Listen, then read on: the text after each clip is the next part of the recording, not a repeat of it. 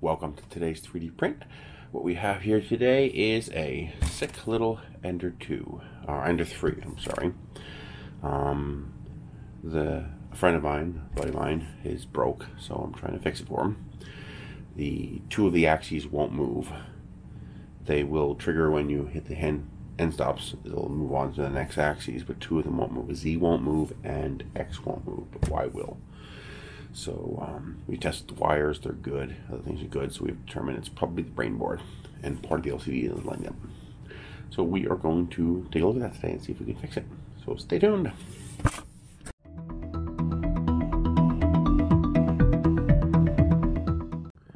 So the machine was new, and um, something went wrong. It died, and Creality sent replacement parts, no problems.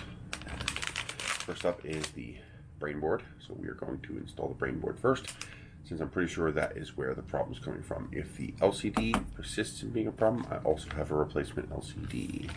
So I'm now going to um, lift up the z-axis, move the bed out of the way, and I'm going to open up brain box, and we are going to begin the process of moving the wires from the old brain board to the new brain board, and then power it up after verifying there's no shorts or grounds anywhere that there shouldn't be, and go from there. So stay tuned. So two screws on the front, and then you slide the bed forward, and you can access a screw on the back here. But you have to slide the bed forward to get to that. Now, when you actually open up the brain box, don't forget you do have a fan connected here. There we go. So don't forget inside here to unplug that fan so it's not in your way as you work on dissecting your machine.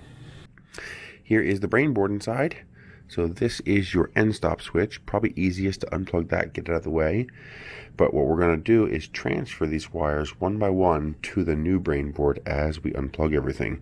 This will reduce the chance of you messing up where they go, but they are all marked. If you look carefully, I don't know if you'll see that in the video, but there is writing on the board that tells you what each of these connections is for. For fans, polarity is important. For everything else, heater cartridges, polarity is not important. And for everything else, they are keyed plugs, so they can only go in one way. A little pro tip for you. Remove the screws from the old board first, the four screws that hold it down, and there's enough slack that you can pull this entire wiring harness out a bit, giving you much easier access to the entire board. It's a lot easier. And then you can slowly, one by one, migrate the wires over to the new board. These are pretty easy, X, Y, Z, E. Um, so you can just disconnect those because they all have little tags on them. But that makes it really surprisingly easy to do. Just pull that wiring harness through that opening and you, there's enough slack there to give you a pretty decent pull. There we go.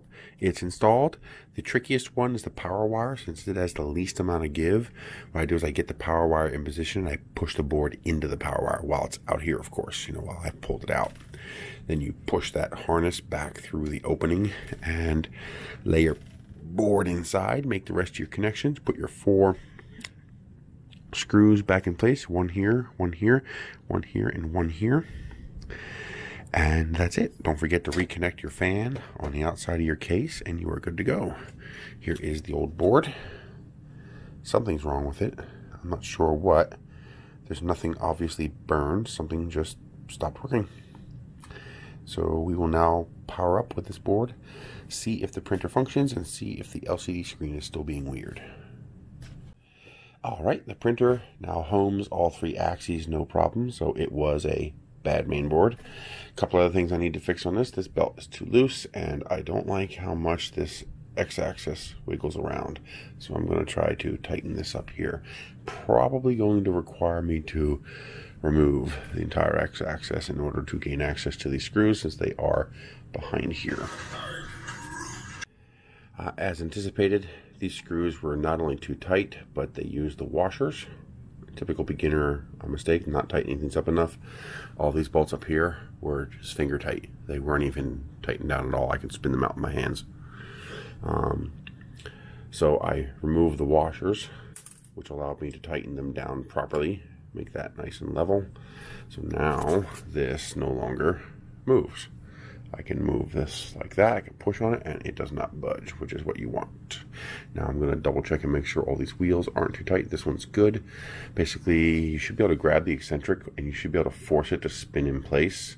If you can't spin it in place, it's probably too tight. If in doubt, loosen the eccentric until it wobbles, then retighten it until the wobble stops. No more. Before I attempt to adjust these wheels, I'm going to put the top brace back on so that this is the correct distance apart. I'm happy to see QC improving. I was able to thread two opposing screws in finger tight all the way with my hands, just turning them in like that without having to move the towers. That's good to see that QC is being maintained. Well, it's done. Replacing the motherboard fixed it. So, got rid of the bad board. Two of the drivers were bad on it. Now it works fine. Um, his screen is in better condition than my screen. My screen has a line in it that makes it hard to read the bed temperature, so I'm leaving the other screen on there. It's the top left-hand quadrant is um, like it's inverted, so it's a different color, but it's still readable, so I'm leaving it. And here are all the prints that I got from the machine after fixing it. And they are about as close to perfect as you're going to get. There is your Marvin. I did the Protonome.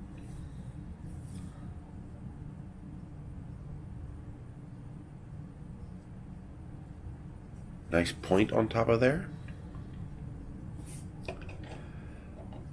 Benchy. No problems. No stringing. No issues whatsoever. Even the zipper line is nearly invisible. Vase. That's the Rose for Your Girl vase. And it is watertight. Yep. Printed out a little screwdriver. Jammed a little screwdriver in there for him. I love these things. And a complicated print. I switched out to eSun eSilk Green. And I printed out a pair of the Predator pliers Mark II. And these required zero cleanup whatsoever and it worked right off the bed. Perfectly smooth, no hang up, no stringing, no sticking. I didn't have to do a thing to them. I simply picked them up off the bed, well, after flexing the plate to remove them. I removed them from the bed and they bed and they simply worked right off the bed. So not bad.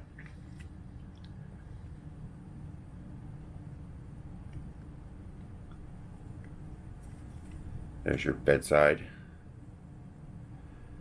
these actually look pretty cool. These were printed at 230 Celsius. The silks like to be printed hot, but there you go. Print is all fixed. He'll be here in about an hour, hour and a half to pick it up, and he will be a new happy critter minion in the printing army. So that's it. You guys have a good day. If you have any questions, ask below.